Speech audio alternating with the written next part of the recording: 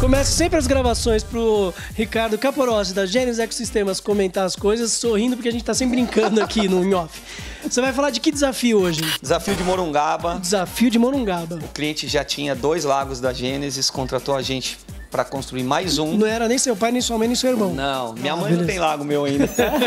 E aí, qual era o desafio? Era um talude Ah. com desnível de dois metros e eu tinha que pôr um lago e criar um platô e pôr o lago embaixo de uma escada. Eu fiz um muro de pedras, Uhum. subi um metro, criei uma queda d'água no outro um metro com plantas aquáticas, fiz um flow up, Aham. a água subindo e descendo nas plantas.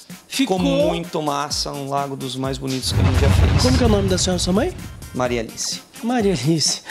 Pede pra esse menino fazer um laguinho na sua Ela casa. não quer gastar.